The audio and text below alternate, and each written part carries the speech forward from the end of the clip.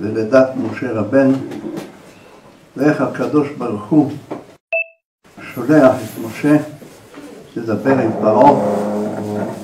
צריך להבין גם מה זה יציאת מצרים, שאנחנו תמיד מזכירים אותה, שעד כדי כך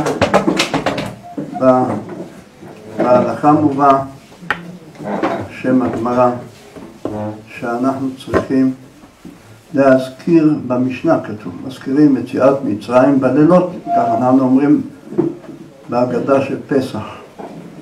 והתורה הקפידה, אנחנו צריכים פעם ביום ופעם בלילה. כשאנחנו מסיימים קריאת שמע בפסוק האחרון, אני אדוני אלוהיכם אשר הוצאתי אתכם מארץ מצרים להיות לכם לאלוהים, אני אדוני אלוהיכם. צריך לדעת שאחרי שהאדם הראשון חטא ואכל מעץ הדעת, פרש מאשתו ונבראו ממנו מזיקים. ולא רק זה, נשמות קדושות שהיו כלולות בו ירדו והתפזרו לעמקי הקליפה. איפה? בארץ מצרים, שהיא הארץ הכי טמאה, והיא נקראת ערוות הארץ. אני רק אספר לכם מעשה קטן שהייתי נוכח שהיה פה נשיא מצרים ועשו איתו הסכם, אחרי זה נכנס, היה עליו השלום אהרון אבוחצירא, נכנס אצל רבי ישראל בבא סאלי עליו השלום ואמר לו בערבית, ואני הבנתי מה הוא אומר לו, שיש, נפתחה הדרך למצרים ואנחנו ניסע על איזה מנהור לקברו של בבא יעקב סידנה, בבא יעקב סבא של הרב, ובבא סאלי צעק ואמר בשום פנים ואופן לא. הוא ניסה בכל זאת לפייס אותו, להפציר בו, לבקש ממנו. ואמר לו ארץ מצרים ארץ טמאה, אני לא הולך לשם. אמר לו, אבל הסבא שם. אמר, כן, הסבא יבוא.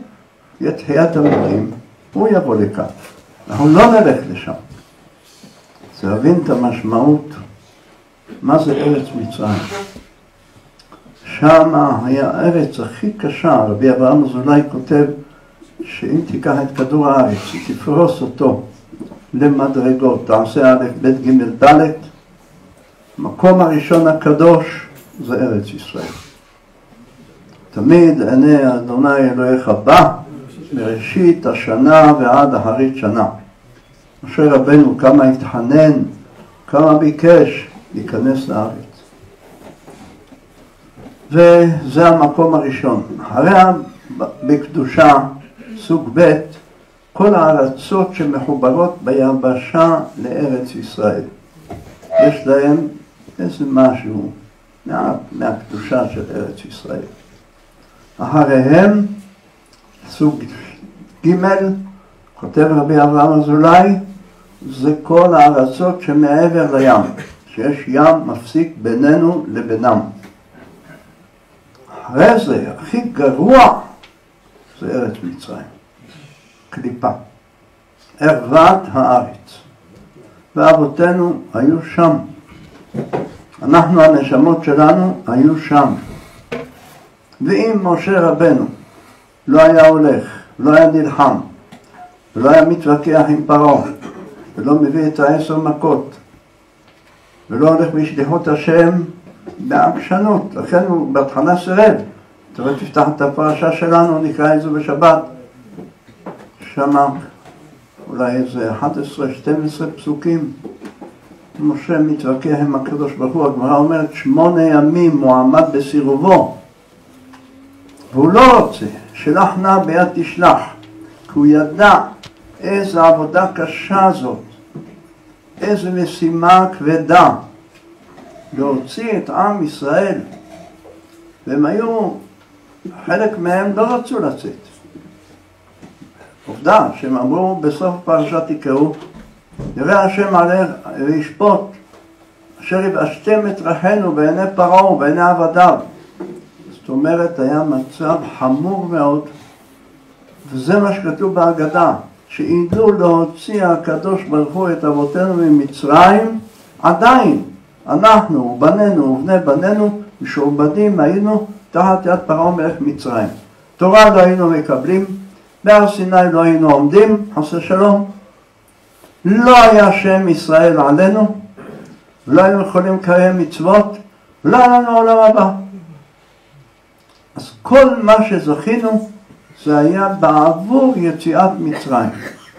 ויציאת מצרים צריך להבין, זה לא רק שהיינו שעבוד פיזי, כמו שהרבה טיפשים אומרים, באנו לארץ, יש לנו דגל, יש לנו צבא, יש לנו... לא, לא על זה.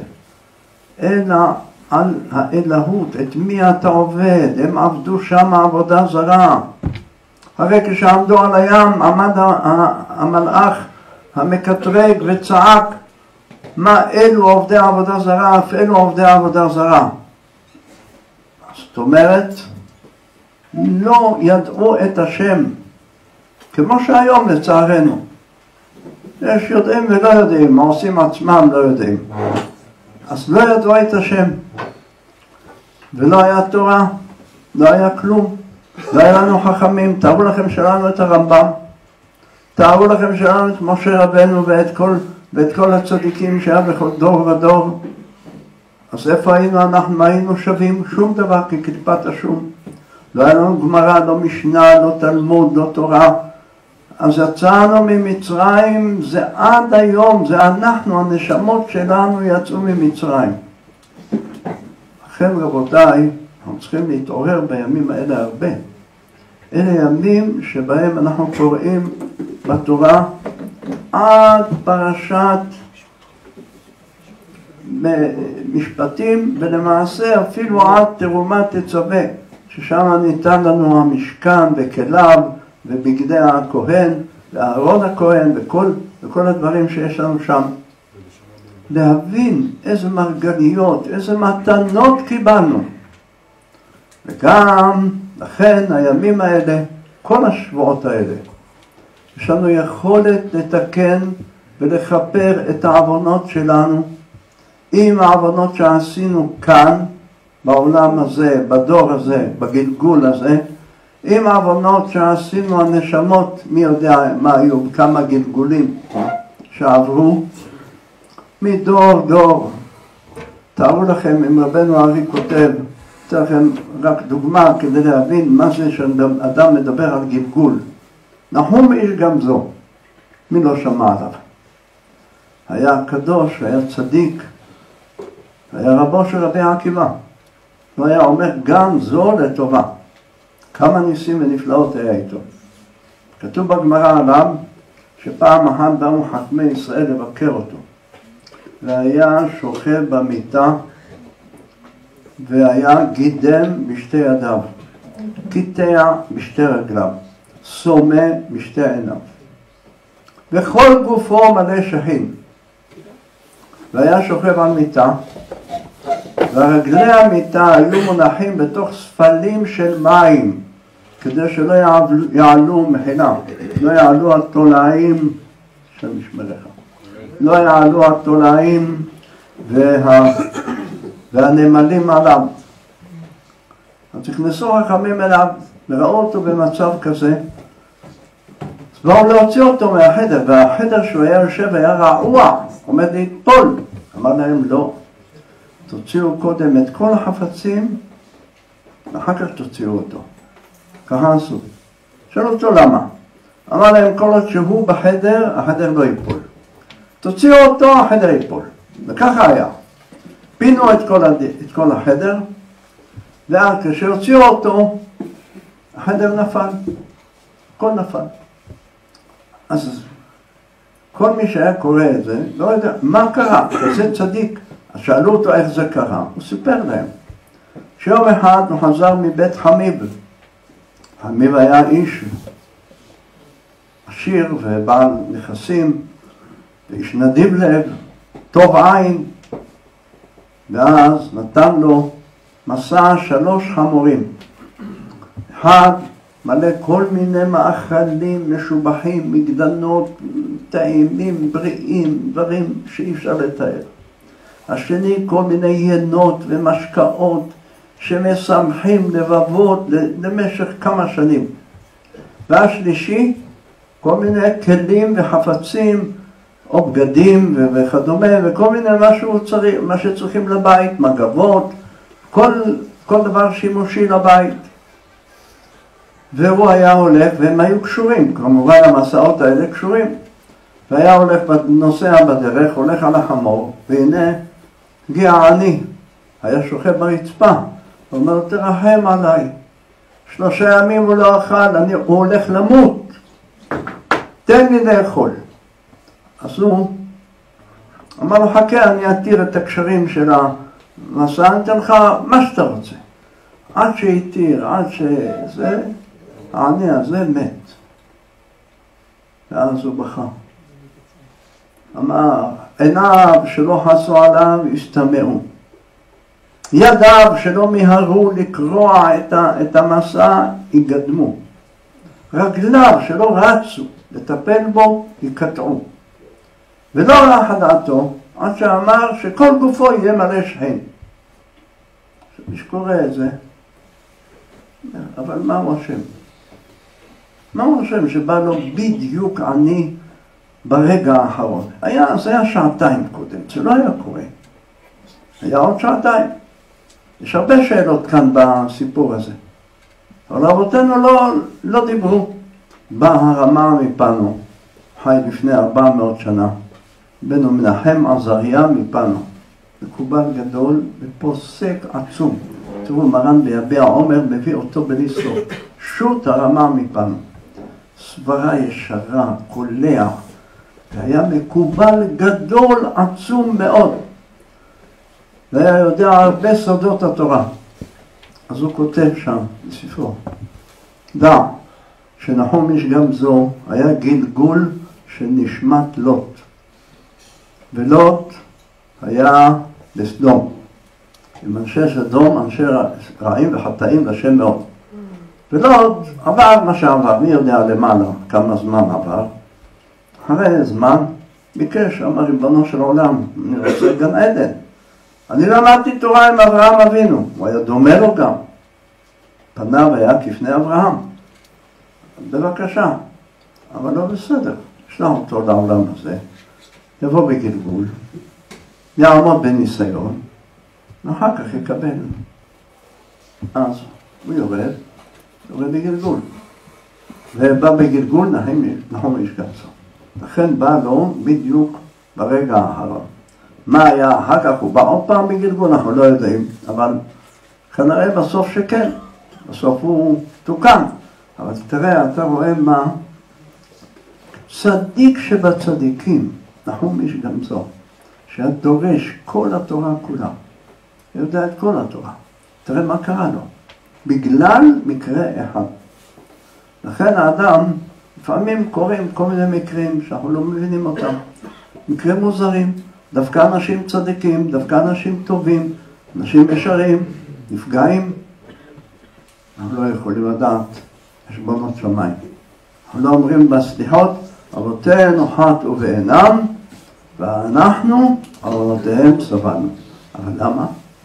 הרי יש פסוק שאומר, אבות אכלו בוסר, ושיני בנים תקהנה.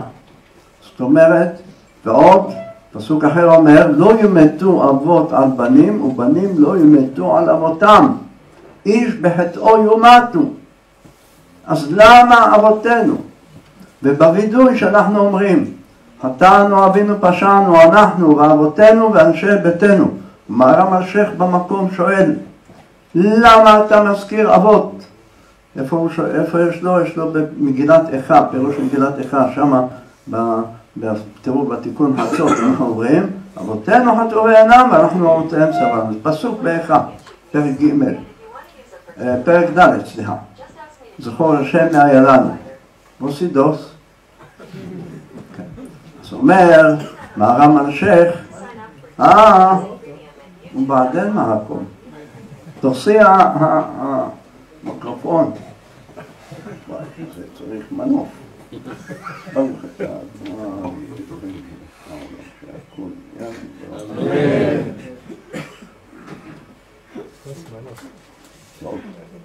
בא. של המצוות. אז יש לכם גבאי טוב. אז אם כן, מה זה אבותינו? אנחנו בגלגול הקודם, נקרא אבא. הגלגול הזה בן של הגלגול הקודם. זה השושלת שיורדת מ... לכן אנחנו לא יודעים איזה גלגולים. ורבנו ארי כותב שבימים האלה אנחנו יכולים לכפר על הגלגולים הקודמים.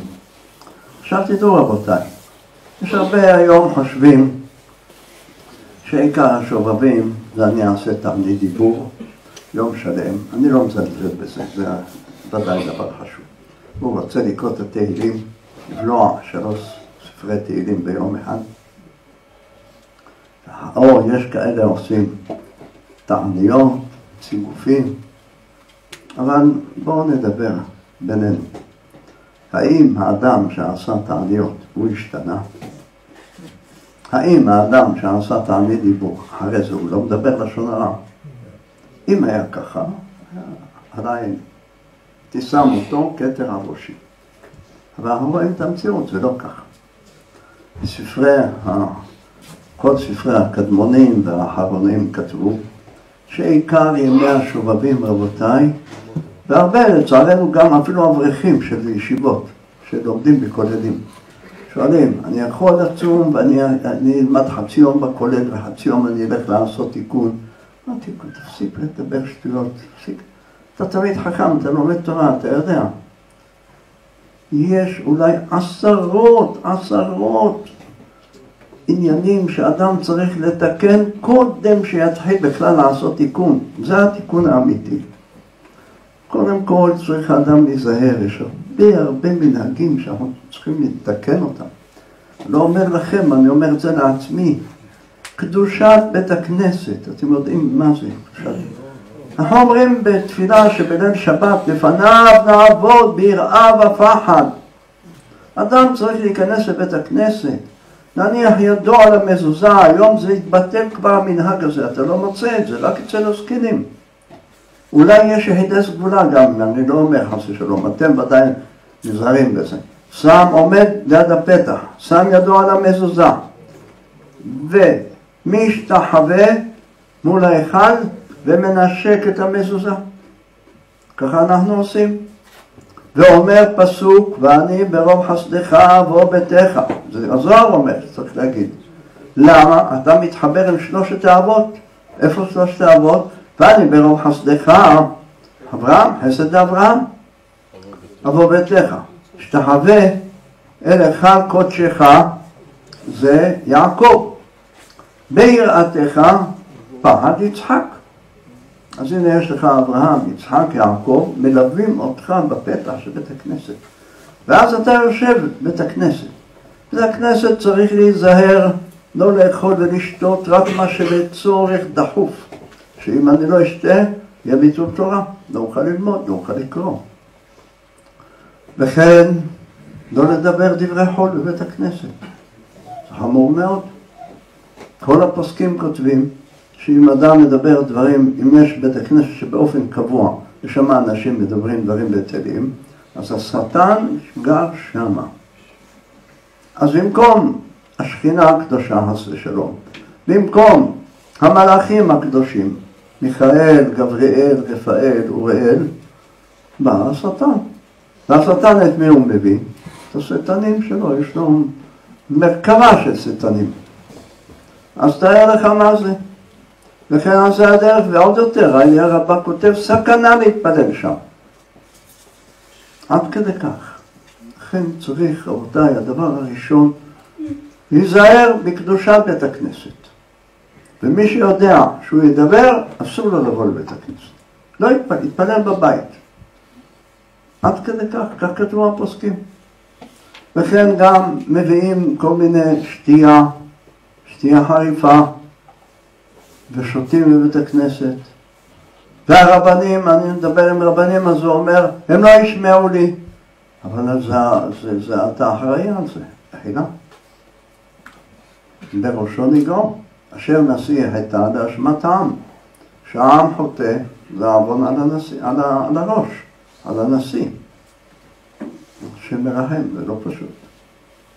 היום להיות רב זה כאב ראש, לא, לא פשוט, הוא לוקח עליו את הכתפיים. והגמרא אומרת, כל מי שדבריו נשמעים על בני ביתו והוא לא מוכיח אותם, כל העוונות שהם עושים זה שלו. אם דבריו נשמעים על בני שכונתו, כל השכונה עושים עוונות, אפילו בבית, בחדרי החדרים, זה עליו.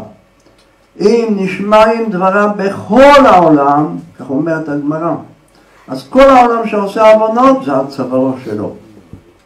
וראינו בגמרא, פירתו של רבי אה, אלעזר, אה, מי זה היה שמה? רבי אליעזר עליו השלום. אתה יוצאת, יוצאת בשבת עם מטלטלת.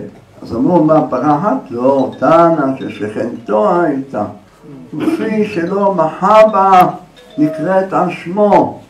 תראו מה זה, כמה צריך אדם זהירות, כמה צריך להיזהר, לא לדבר, לא לשתות, לא לאכול. בזמנו הרבנים הגדולים היה בנתיבות רבי רפאל חדר סורן, שמעתם עליו. רבי רפאל חדר היה איש קדוש, תמיד חכם. הוציא פסק עם כל הרבנים שאסור להביא לבית הכנסת משקאות חריפים. היום יש, לצערנו, אני לא אומר לכם, רק אתם, אם תשמעו, תדעו להוכיח שיש מקומות שיש שם מביאים בשבת, זה נהיה כבר מגפה. בשבת מביאים מקריאת התורה או לפני כן, יש כאלה כבר מתחילים מישמח משה. שאלתי אחד מה אתה עושה, הייתי באיזה ברית, באיזה מקום. אמר לי, לא, אני קורא לי משה, ישמח משה. אמרתי, ישמח משה, זה חלקו, משה רבנו שתה שיכר, שתה, שתה זה. אז הוא רוצה, מתחיל, איך שהחזן גמר קדושה, והוא הולך למטבח, יש שם מטבח, בית הכנסת היום לא הולך בלי מטבח. יש שם חמינדוס ובורקס וכל מיני מעדנים, והם בקיאים גם בסוגי השיבה שיש שם. זה כזה, זה של חברה כזאת, זה של חברה שנצילה. ואז. אז לכן רבותיי, אנא, זה הדבר הראשון שאנחנו צריכים להיזהר. ועוד יש, בלי סוף, מנהגים, עניינים שאדם צריך לשים לב עליהם, לפקוח עיניו, לשמור את העיניים.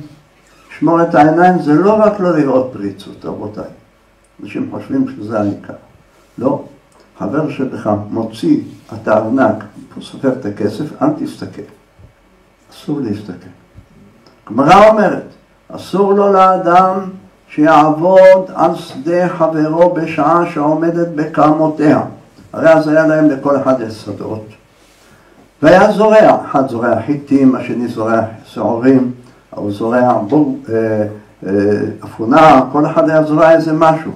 אז הוא הולך לראות מה יש לחבר שלו. גורם לו עין הרע. שנאמר יצב אדוני איתך את הברכה ואשמך בדבר הסמוי מן העין. אז אסור לאדם להסתכל.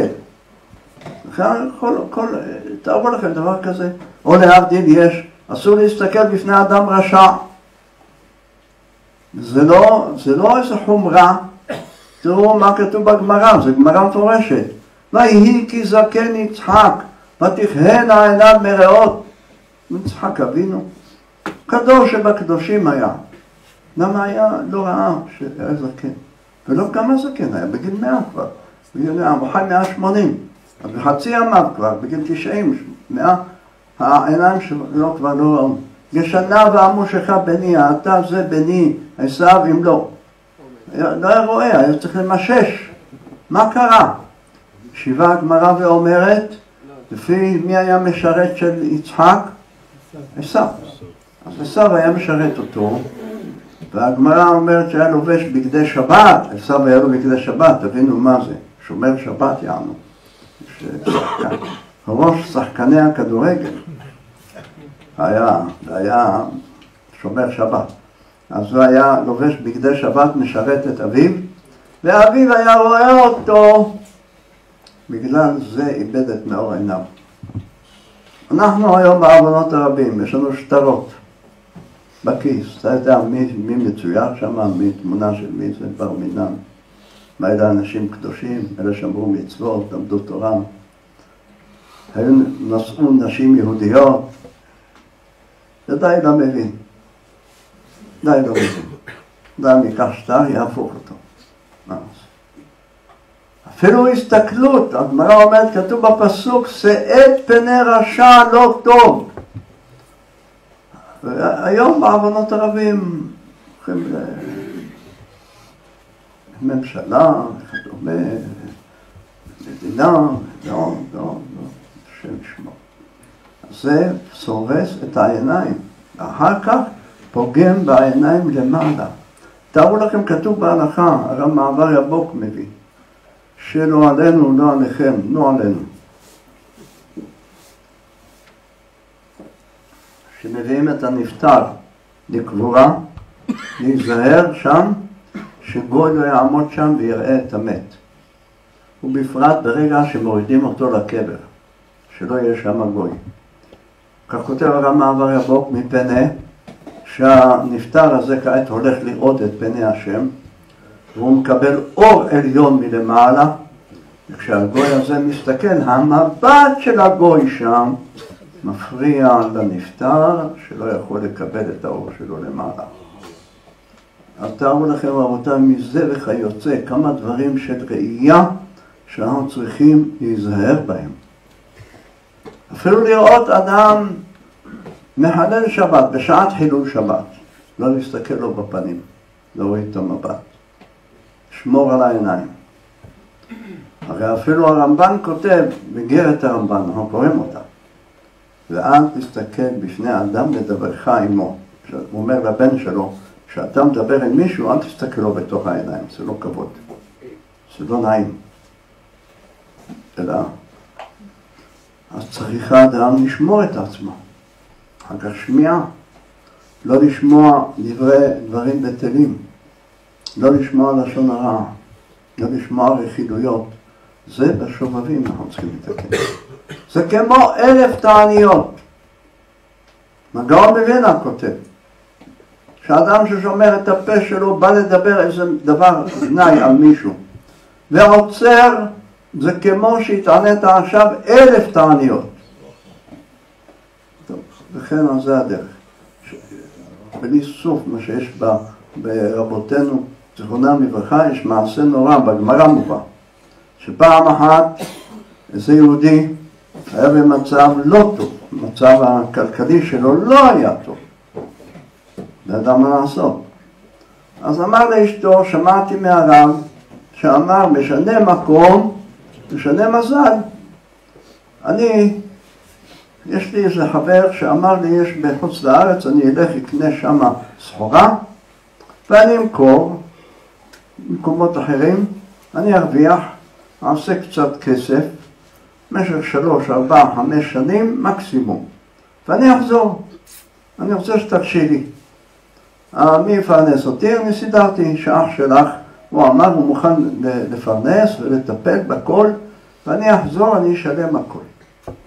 לא היה אדם נאמן, שלחה אותו, אמר לו בסדר, נסע. והמסכן הזה התגלגל והיה אוסף כסף וחוסך ועובד, עובד קשה בהתחלה ואחר כך עבד יותר קל ואחר כך השם האיר לו פנים ועשה עסקים, עשה עוד הרבה סחורות והיה שולח לאשתו בינתיים כסף גם מתנות בדרך, דרך השליחים והנה ביום האחרון שהוא החליט לחזור אחרי חמש שנים אמר מה אני עושה עם האישה המסכנה הזאת הצדקת חיכתה לי חמש שנים, גידלה את הילדים לבד, ואני הייתי פה לבד. צריך לפייס אותה. הלך לחנות הכי מפוארת של תכשיטים. ונכנס לבעל החנות, אמר לו, תראה אדוני, אתה יהודי כמוני, שמעתי עליך שאתה נאמן, תמצא לי איזה תכשיט יפה, טוב, עם אבן יקרה, ואני רוצה להביא לאשתי מתנה. בחר לו טבעת, הייתה שמה טבעת מיוחדת במילה, עם אבן שאין כמוה בכל המדינה. אמרו לו, זה אבן כזאת וכזאת, תיקח אותה אל תשלם לי עכשיו, קח אותה למומחה ותשאל אותו מה האבן הזאת, מה המצב שלה, כי צריך לראות עין של אדם שבקיא ויודע. לקח אותה, אמר לו, זה, איך אומרת הגמרא, מרגניתא דלת בת ימי, זה מרגלית שאי אפשר לשער כמה היא עולה. כל מחיר שתגיד, זה שווה.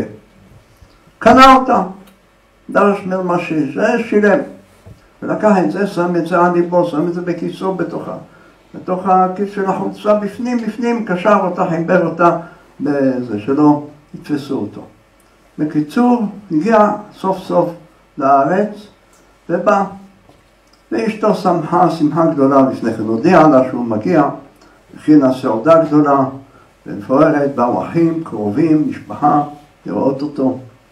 הלך, הוציא מיד את הטבעת, אמר תדעו, האישה הזאת צודקת, כמה טרחה בשבילי, כמה עשתה בשבילי, כמה נתנה, נתנה לי, בזכותה הגעתי למען שהגעתי. והנה אני לאות הוקרה, זה קצת שאני יכול לעשות. הנה, נותן לך את הטבעת הזאת, קחי את הטבעת. אמר לו, תודה בעלי, בסדר?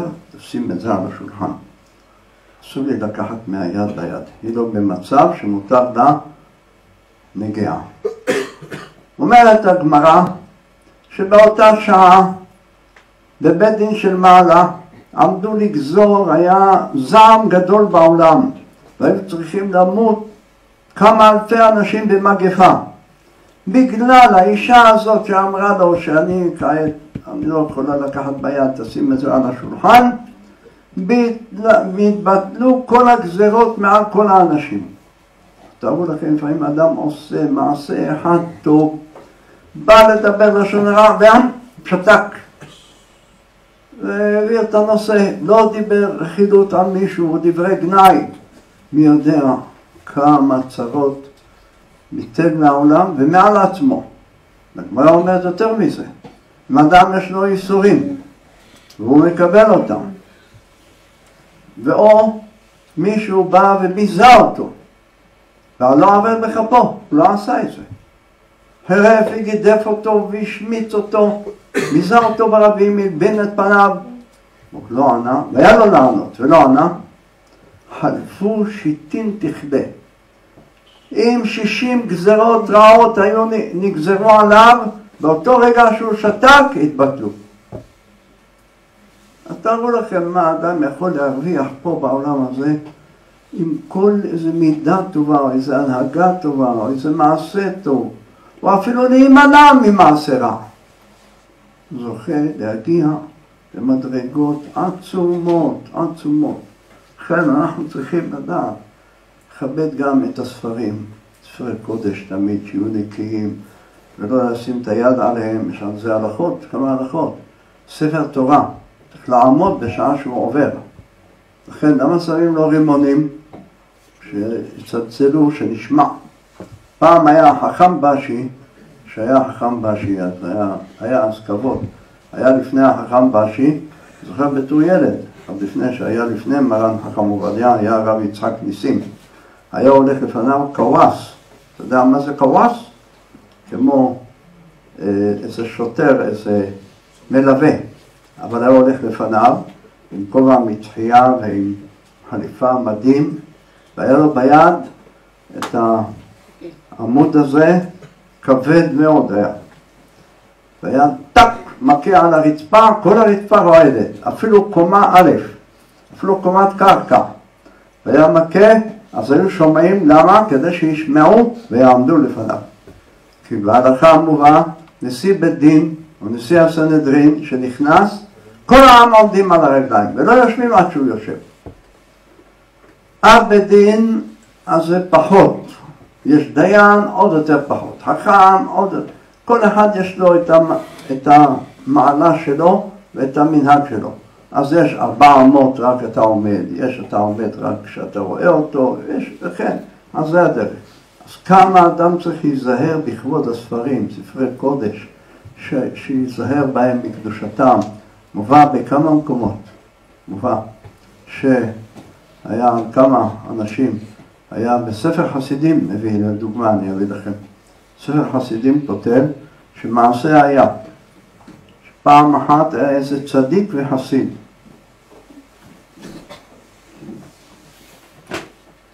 זה היה לפני קרוב לאלף שנים. ספר החסידים היה לפני 900 שנה, רבי יהודה היה חסיד. היה בגרמניה. אז בגרמניה המרשעת היה שם, באו גויים לבית הקברות. פתחו קבר של צדיק והוציאו אותו וזרקו אותו ברצפה וביזו אותו. ראו את זה, למחרת נודע בעיר, מיד כל אנשי העיר באו, בכו והתפללו וקברו אותו וביקשו מחילה וגזרו יום תענית. גזרו יום תענית, על מה עשה השם ככה? צדיק קדוש כזה. זה כמו ספר תורה מהלך, ספר תורה בעצמו, כמו שאנחנו עומדים לפני ספר תורה. בא אליהם בחלום, כותב ספר חסידים, ואמר להם, אל תצטערו. זה קרה בגלל שהוא לפעמים היה, לא היה נזהר בקדושת הספרי הקודש שהיה פוגע בהם. והיו לפעמים נקרעים או מתבלים, והוא לא היה מטפל בהם. לא כורך אותם ולא מטפל בהם, לא נותן אותם לכריכה. תארו לכם על דבר כזה נפרעו ממנו אחרי כמה שנים. מה נענה ומה נאמר אנחנו היום? כמה אדם צריך להיזהר, קדושת הספרים, שיהיה להם מקום יפה. הרב ראשית חוכמה כותב שידיך מטונפות אל תיגע בספר. נגיד אדם יצא משירותים, אפילו שהוא רחץ ידיים בשירותים עם סבון ועם כל החומרים הכי, הכי דיאטטיים, אני יודע איך קוראים דיאטטיים או קוראים להם אה, שהם סטרילים וכדומה, שמנקים את הידיים. לא שטפת ידיים בחוץ, אתה צריך בחוץ, מחוץ לשירותים. אל תיגע בספרי קודש. אל תיגע בציצית ובתפילין. תראו רבי חיים פלאצ'י עליו השלום. זכותו תגן עלינו ועליכם. היה לפני למעלה מ-150 שנה, יותר אפילו. 200 שנה כבר. באזמיר שבטורקיה. בחיים פלאצ'י. היה רב של כל המדינה, ולא רק המדינה. בכל המדינות שטורקיה שלטה, כולל כאן, כולל כאן בארץ, וכל שאר הארצות, רק תסיים את ארוחת ערב, תודיע לי, בכל הארצות, היה ממונה על כולם, והוא, היה לו שמשים מטעם הממשלה, שני שוטרים גויים שמשמשים אותו, והיו מטפלים בכל העניינים שלו. בכל זאת, הוא היה נזהר, טלית ותפילין, הוא בעצמו היה נושא אותם ולא המשרת. למה? לחבב את המצווה. וכן ארבעת המינים, לולה ואתרוג, בעצמו היה אוחז. מי שמכבד את המצוות, בשמיים יכבדו אותו. יכפר לו את העוונות. צריך להיזהר. צריך שאדם יכבד את השבת, כמה שבת צריכה להיות יקרה. זה אחד התיקונים של ימי השובבים. שבת קודש, שיהיה לו בגדים מיוחדים לשבת. מעיל מיוחד לשבת, חולצה של שבת אם יכול גם כן זה עוד יותר טוב. וכן על זה הדרך מכנסיים לכבוד שבת. מנהלים, יש רוב פוסקים כתוב שלא חייב. נעליים זה לא, לא הקפידו. אבל שאר הבגדים שיהיה לאדם בגדי שבת. הביאו ראייה מרות. מה כתוב אצל רות? נעמי אומרת לה, לחץ ושק ושם צמלותייך עלייך. נעמי אומרת לרות שהיא תבוא לסעודה אצל בועז, הדוד. אז זה ולחץ ושק ושם צמלותייך עלייך. בשביל מה היא אומרת לה שם צמלותייך עלייך? בטח שהיא תלבש צמלה. מה, יעלה על הדעת שהיא תבוא בלי? חלילה? אלא הגמרא אומרת שהיא אמרה לה תלבשי בגדי שבת. אז מכאן אמרנו שלשבת יש בגד מיוחד. מי שמכבד את השבת, אז שמה בעולם האמת יש לו גם כן כבוד. וכאן זה הדרך. צדקה, כמה מעלה צדקה חשובה, שאדם ייתן, ייתן צדקה, אבל למי? השאלה למי?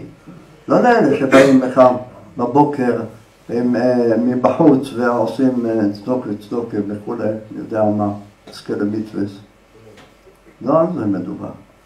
מדובר שאתה, כל עיר, כל מושב, כל יישוב, צריך לדעת מי האיש, מי, אם יש שם אדם, בעל, משפחה, מצב כלכלי לא טוב, יש לו חובות, יש לו זה, צריך לדעת, ואז לחקור ולתמוך בו.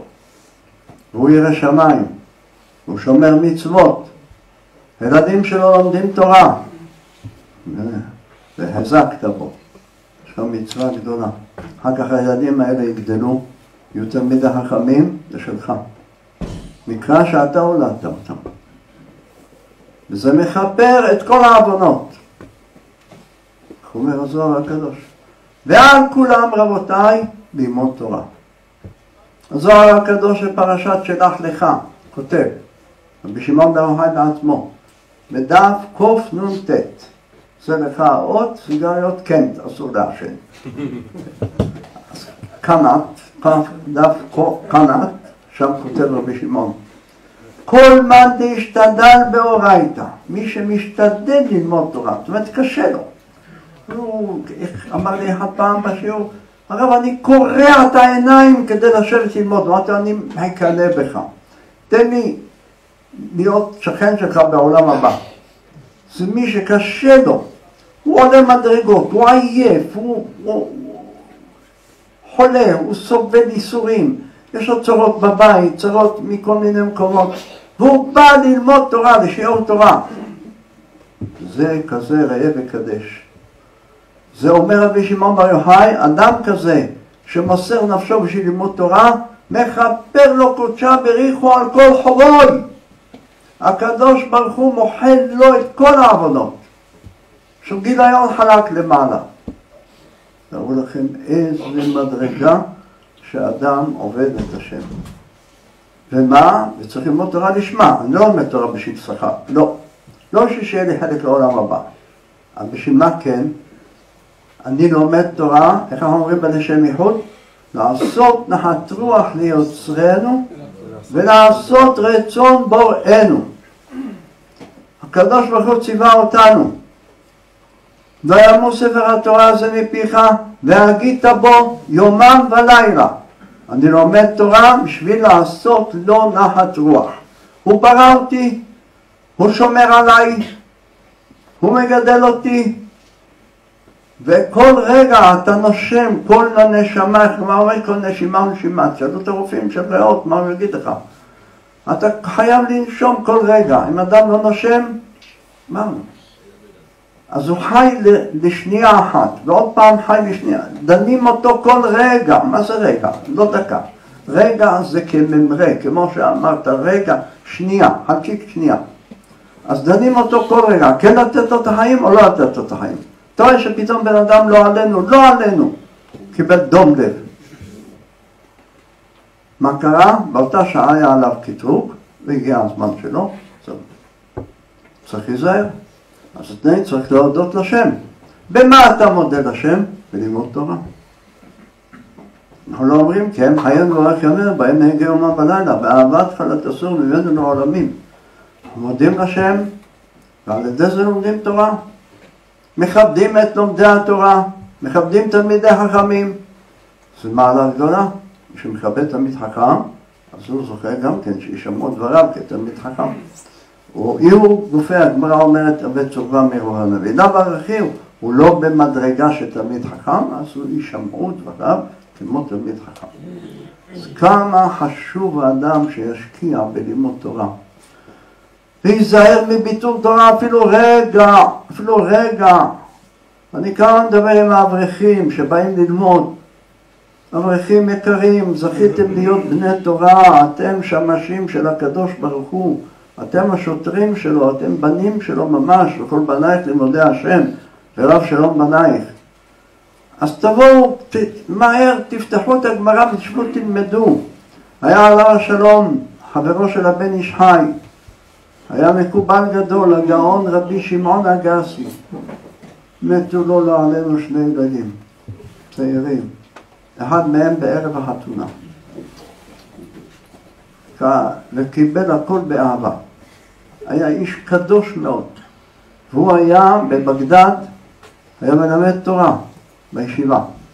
שם, אחר כך הוא פתח ישיבה עוד עצמאית באופן פרטי, והיה לוקח את כל הבחורים שנושרים, או רואה מישהו מסתובב ברחוב בלי מלאכה, לוקח אותו, מחבק אותו, מביא אותו אליו הביתה, מאכיל אותו, משקה אותו, קונה לו וכולי, והיה מביא אותו לישיבה.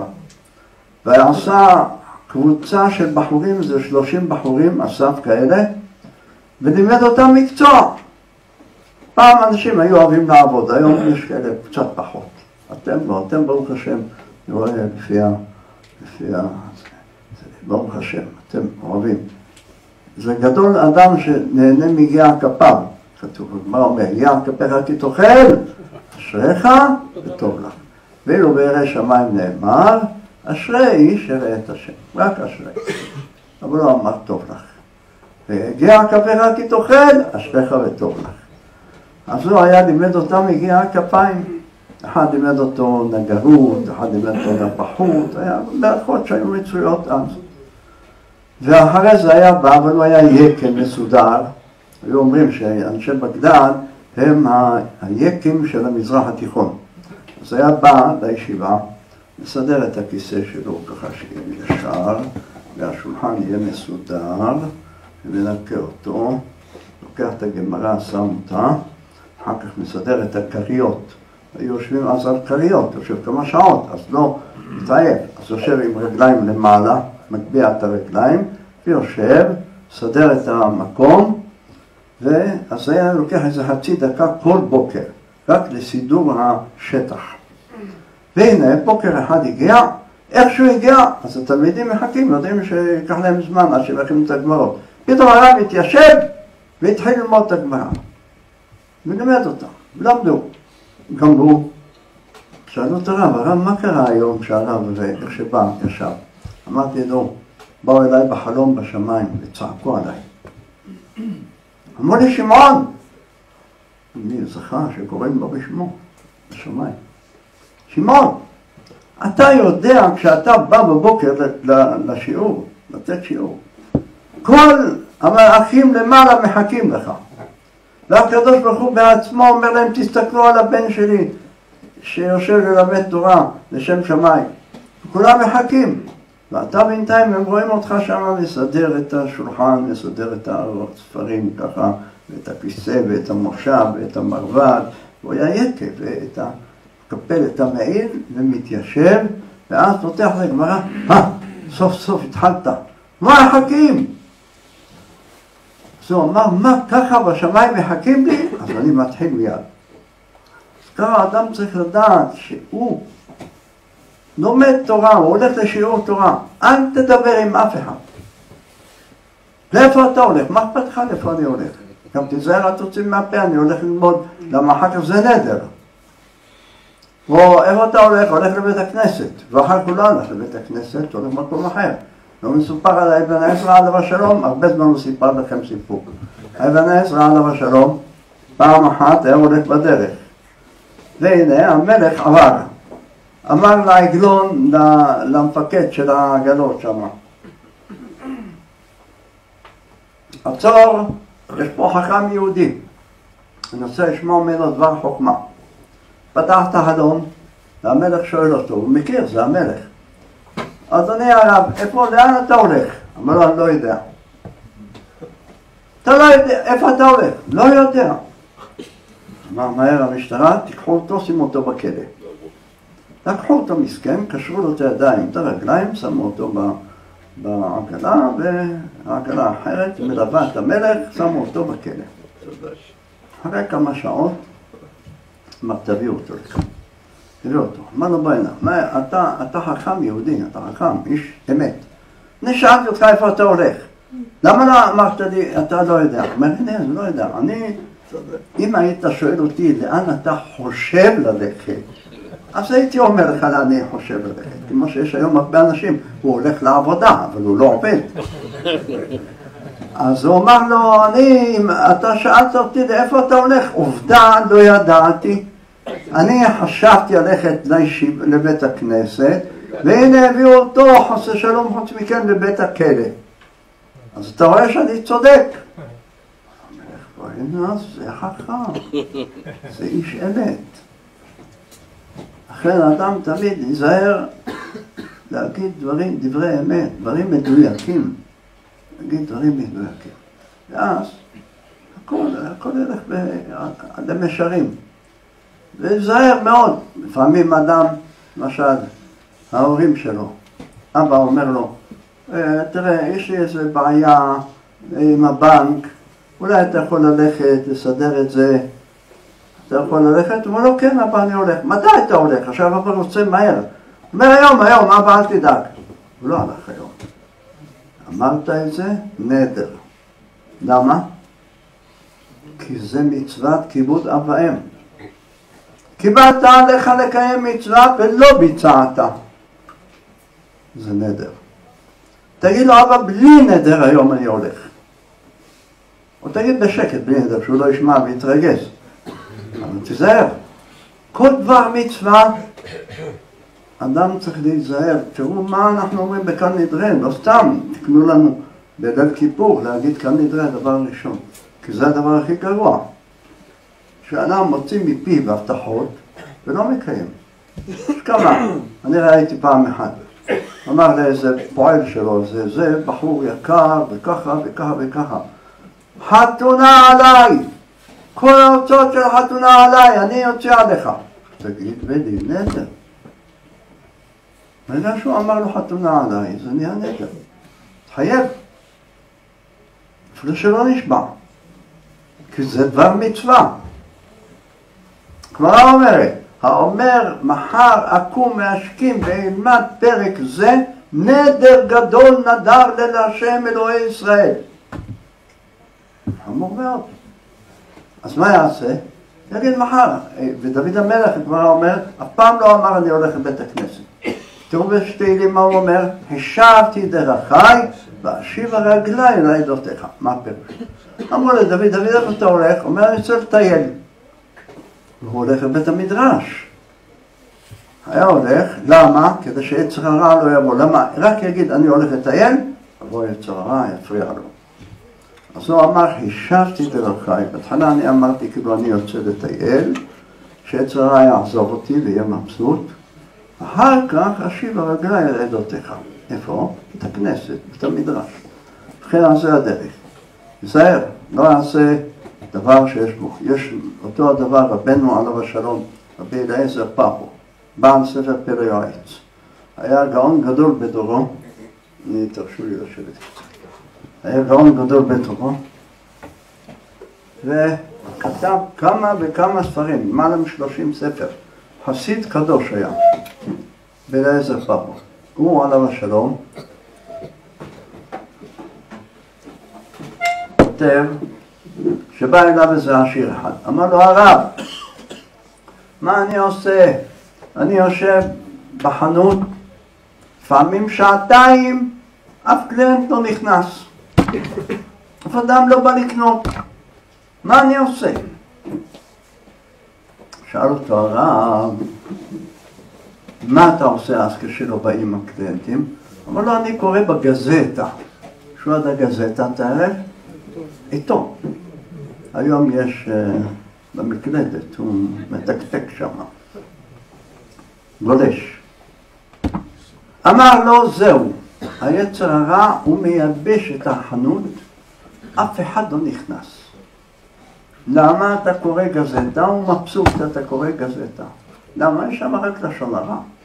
זה דיבר על זה, זה ביזיין, זה, זה קידד ההוא. תפתח את הרדיו, מה אתה שומע? רק שם שמוע. זה מלכלך, זה זה מלכלך. זה קורא לזה ממשלת זדון, זה קורא ממשלת הרשע, זה קורא לזה אותם, וכולי. אמר לה, אז מה אני אעשה הרב? תן לי סגולה. אמר סגולה?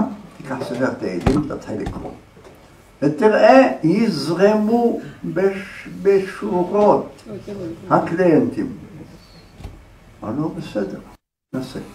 מחרת, הביא איתו ספר תהילים, ישב על השולחן, לקרוא. עוד לא פתח. התחיל, אשרי תלמיד אנחנו הולכים בתורת בניים של אותם. סליחה אדוני, כמה זה עולה? מה באת פה לקרוא תהילים? אתה צריך למכור לי. אני זה, באתי לקנות. אשתי שלחה אותי, אני צריך זה. לא גמר, בא להמשיך, עוד אחד קונה, עוד קונה ועוד קונה. הלך בערב, אמר לרב, מה קורה פה? אמר לו, זה יצר הרע.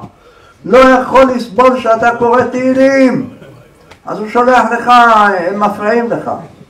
אז תחליט. אמר, בסדר. אני אעשה חצי יום, לעבוד בחנות, זה מספיק לי. אם זה ככה, מספיק לי. אז זה האדם ילמד, תמיד, כל דבר שבקדושה יש הפרעות. שים לב, לפעמים אתה בא להתפלל מנחה. אז יש כאלה מחכים לרגע האחרון. הוא יבוא באשרי יושבי ביתך. והוא יבוא באמצע העמידה. או יש כאלה שהוא באופן קבוע, בדיוק אחרי התפילה של מנחה, פתאום אתה שומע השם שפתי תפתח אופי יגיד תהילתך ועושה קדושה. טיפש. מה, אתה חושב שזה, אתה הרווחת תפילה בציבור? זה לא נקרא תפילה בציבור. זה נקרא רק שהרווחת קדושה. אבל אתה התפללת יחיד. ויש כאלה, תראו, מי שעושה את זה זה כרוני, קבוע כל יום. אני מכיר, כשהייתי ילד, היה אחד בבית הכנסת שלנו, ככה היה עושה, כל יום, קבוע. וכן בערב שבת אותו דבר. שים לב, הוא מגיע כעת, נגיד, השקיעה בסביבות חמש, אז הוא מגיע חמישה לחמש, עשרה לחמש מקסימום. אז תגיד, טוב, זה ימי חורף. מה קורה בקיץ? אה, קיץ גם כן, הוא שבע, אה, רבע לשמונה, מתי זה השקיעה, משהו כזה, עשרה לשמונה, הוא מגיע בשבע וחצי.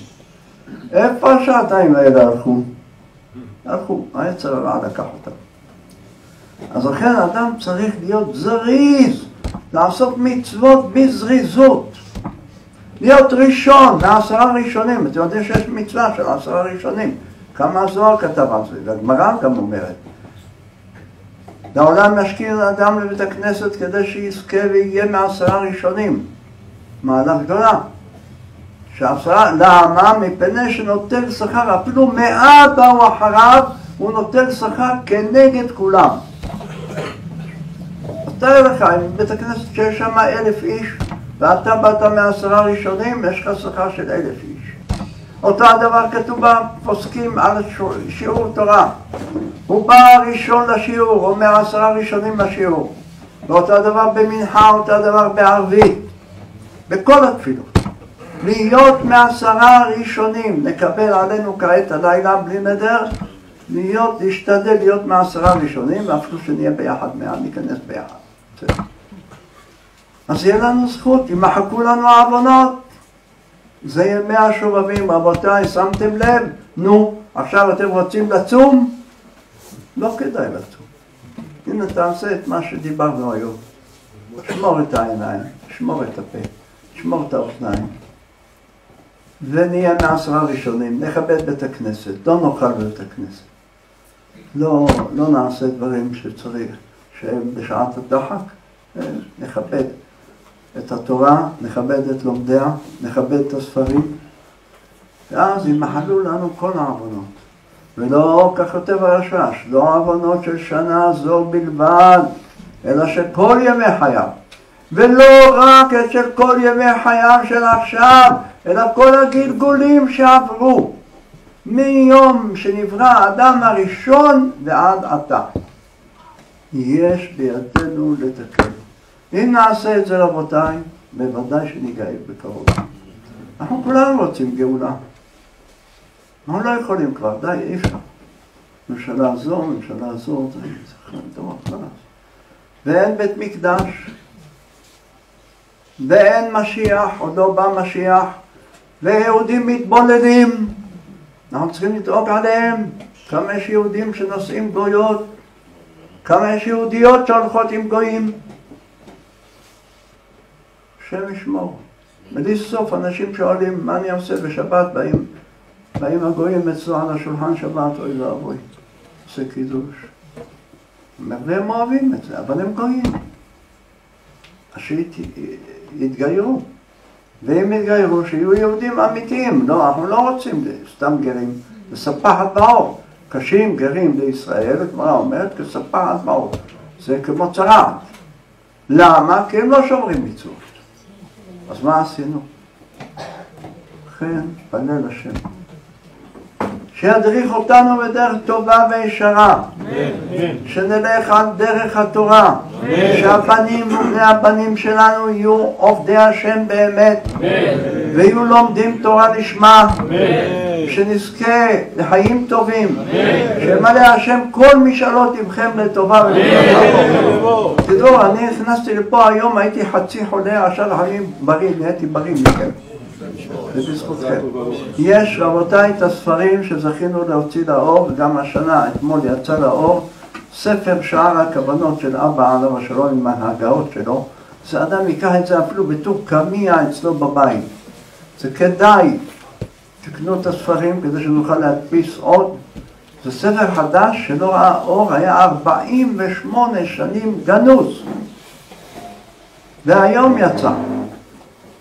עם כל ההגאות שלו, עם כל הצילום כתב יד שלו, עם תפילה בסוף, תפילה יפהפייה. תקראו אותה, תלקקו את האצבעות ותהיו מאושרים. עם הצילום כתב יד שלו, איזה כתב יד מסודר, תראו איך היו מסודרים, איך היו כל דבר, לפני 48 שנה. לא? כמו היום, היום היה פטירה, 48 כן, שנים, אז הנה אני באתי פה לבן זכאי, זה סימן שהוא היה זכאי. אז גם אנחנו נהיה זכאים, לא רק בני זכאים, אנחנו נהיה הזכאים, אביהם של הזכאים. אז תזכו לכל מיני דמיטב, אני מברך אתכם מראש, אין לי כוח לברך כל אחד פרטי, אלא אני מברך את כולכם בכללות, שימנה השם יפלוט לבכם לתורה. ומי שצריך בנים זכרים, יהיה לו בנים זכרים, זה רק נאמר. מי שיש לו בנים יהיו עובדי השם באמת, לנפש, ללב שלם, נפש חפצה. ושהשם תן לכם פרנסה ושפע. ושתזכו להרבה דברים טובים, מה עוד צריך? חתן, אה, שהבנים יתחתנו, ולא יהיו עצלים, יש שם רווקים, כמה רווקים פה אני רואה. רואים על המצח של רווקים. אז בבקשה, אל תתפנקו, תיקחו, ותיקחו נשים ותקימו בתים. וגם הבנות, שלא יתפנקו, כאילו, כאילו, תתחתני וקדימה. אז רבותיי, הקדוש ברוך הוא מחכה לנו. מתי כל ששון וכל שמחה, כל חתן